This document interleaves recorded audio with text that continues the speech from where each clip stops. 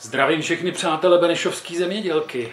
Chtěl bych se připojit jako bývalý absolvent ke gratulaci a kromě toho, že jsem tu zažil nezapomenutelné čtyři roky studentského života, tak málo kdo možná ví, že to bylo na svou dobu skvělé vybavení pro rokovou kapelu, včetně všech nástrojů.